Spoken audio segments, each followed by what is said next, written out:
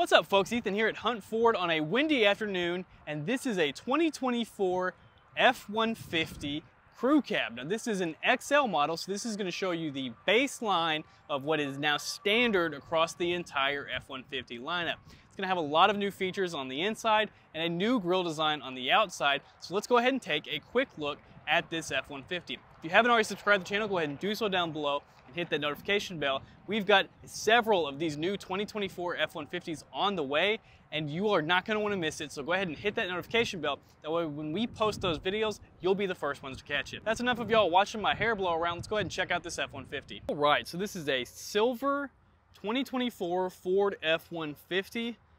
The biggest thing that stands out is this all new wraparound style grille design here, as well as a sneaky change to the front and rear emblems. They used to have a blue with silver or chrome inlay for the lettering, but now they've made it just a stark white. It looks a little bit brighter and stands out a little bit better.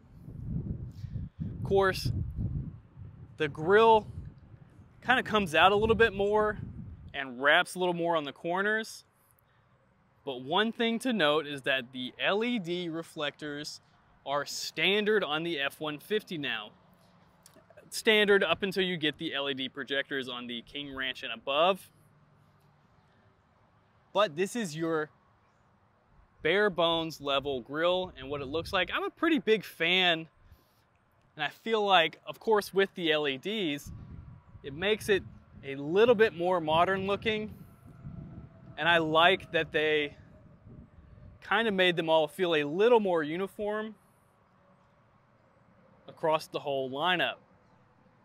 On this XL, you've got the 17 inch silver painted aluminum with your Pirelli Scorpion ATR tires. These are kind of all-terrain since this is a four-wheel drive, but these are a good hybrid on-road, off-road tire. No change here to the side vent badge. That's gonna stay pretty similar from last year it kind of looks like they changed the design of the running boards or these platform running boards. They tuck a little more underneath the door panels, I feel like. And it just kind of closes that gap a little more.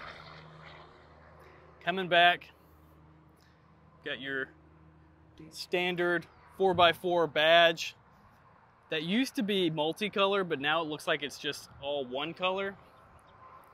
Got a black plastic grill here in the back. Ford's calling this the most safe F-150 ever because you've got your standard Ford Copilot 360 2.0 features. And that's gonna have your backup sensors as well as your blind spot monitoring. I'll take a look at those in the mirror here in a moment. But this is what I'm talking about on the badging is that this white used to be a chrome color, but now it just stands out a little bit more.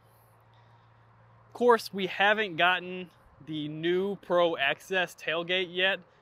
We'll do a separate video when, I, when we get our first truck with it. I want to take a closer look at it versus just looking at it in a walk around, kind of show you the benefits of it versus the pros, cons kind of style video. We'll take a look at it then. In the bed of the truck though, there are now storage compartments that you can actually store straps, gear. Of course, this side will go away if you do have a Pro Power on board, but it is interesting to see them kind of pulling some of those features over from the Maverick especially, and it's a welcome surprise. Got your tie down straps, on both the front and the rear. And of course you've got your hidden bottle opener here on the sides. I like the stamped design of the F-150. Looks a little bit more low profile, as well as it looks like they've changed the design of the standard tail lamps. These are obviously not LED, these are going to be the halogen tail lamps, but I like this kind of swoop and triangle design that they've done for the 24 model year. Quick look at the window sticker on this truck. As always, I'll post a better view of it on the screen. But this truck stickers for $51,430. I'll also take a look at the payload sticker on the inside of the door for you. I know a lot of people typically like to see that. So again, this has the 5.0 V8 engine for $1,378, as well as you've got the black platform running boards and the electronic locking axle. This has a 331 electronic locking axle. It's that 331 actual ratio. On the door here, you're gonna have a payload capacity of 2,009 pounds. And you've got a total GVWR of 7,100 pounds. Again, this is designed as a work truck vehicle. So with the bare bones options, what do y'all think about the price? Let me know down in the comments below.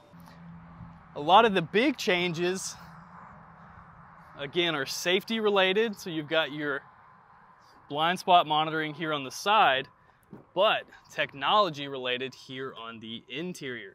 We'll go ahead and get it started and take a look. But this is now your standard screen setup here on the F-150.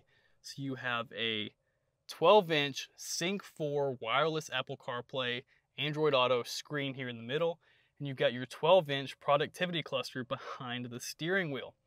There are no more F-150s with the analog gauges in 2024. So this is a really, really big technology change for all of these models. But this dual screen design is now standard across the entire lineup, which just gives you a lot more access and information, even though it does take a little bit of time once you get started if you're a little more patient rather than I am. Down here at the bottom, same kind of design here. Of course, this is a bench seat. Nothing really big change-wise down here at the bottom. You got your camera buttons up here at the top. I was really hoping that they would take some of the design cues from the Super Duties, which we obviously noticed that they've had these designs out for a little while, but this kind of angle it's a little abrupt. I like it on the Super Duty how it's just one solid bar across the top. I think it looks a little bit cleaner. But this is a great change also to have the 12 inch productivity screen behind the steering wheel. Rather than have all of your gauges and clusters, now you've got a fully customizable screen. It's really easy to control, gives you your My View, and some customization changes. We'll do a kind of point of view version. Of course, you've got your cruise control settings over here. This is a standard cruise control, but as a part of that Ford Copilot 360, you do have a lane keeping option. And you've got your phone settings and your wireless phone usage settings over here. You also have your typical transfer case control down here. Drive modes obviously change up here at the screen. And you've got your four high, low, and you have an electronic locker on this truck as well.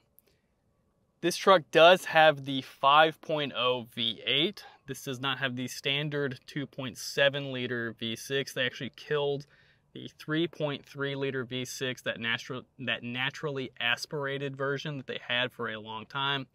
So it's basically EcoBoost or V6, or you have the option for a Power Boost on some of the higher models as well.